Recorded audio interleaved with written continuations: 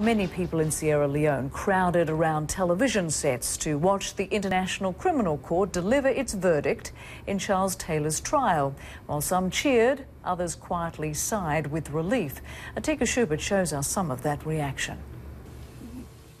I will ask the accused, Mr Taylor, would you please stand for the verdict of the trial chamber?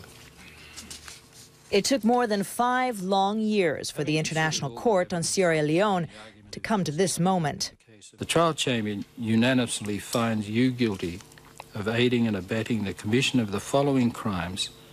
And it took Judge Lussick nearly two hours to read a list of horrific crimes enslavement, rape, murder, and mutilation. Civilians were forced to endure cruel treatment, including having words carved into their bodies and amputations of limbs. All carried out by rebel forces who were armed and funded by Charles Taylor. Taylor saw neighboring Sierra Leone as a source of diamonds and wanted to overthrow its government. The former Liberian leader showed no emotion as the verdict was read out. But in Sierra Leone, where the wounds of war are clearly visible, a feeling of relief and justice at last. We go a long way in healing the wounds that many Sierra Leoneans have about the war. Because I believe in anything, if justice is not done, apart from whatever physical assistance that can be given to people, justice goes a long way to heal the wounds. But in neighboring Liberia, emotions were mixed.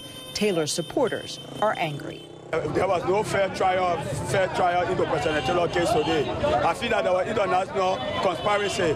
President Taylor never hold armed and went to Sierra Leone. He now went to go fight in Sierra Leone.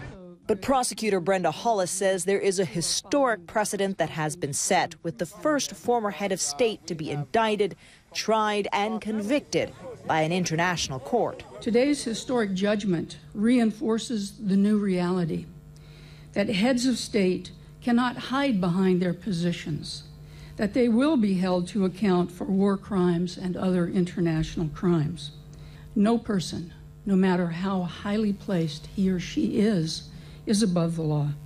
So, what happens next? Well, take a look at this calendar. Charles Taylor has just 14 days to launch an appeal, and his sentencing hearing has been set for May 16th. Now, prosecutors cannot ask for a life sentence or a death sentence, they can only ask for a set number of years. When will the judge make that final decision?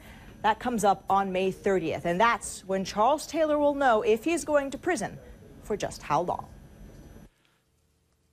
There is no prison in Sierra Leone or anywhere in West Africa felt to be secure enough to hold Taylor. Instead, he may find himself behind bars in Britain, where the government has volunteered a high security prison to hold him. Atika Shubert, CNN, London.